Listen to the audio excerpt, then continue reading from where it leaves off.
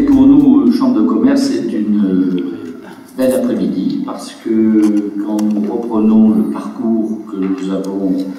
euh, et vécu depuis maintenant euh, pratiquement 4 ans, c'est un peu une consécration de voir cette conférence débat sur la médiation se dérouler.